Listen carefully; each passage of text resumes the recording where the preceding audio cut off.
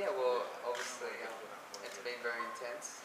We've had some strong training sessions. I think the coach is preparing us very physical this year. Um, and I think you've probably noticed how intense the trainings have been. And I think in the long run, it'll, it'll come out very beneficial.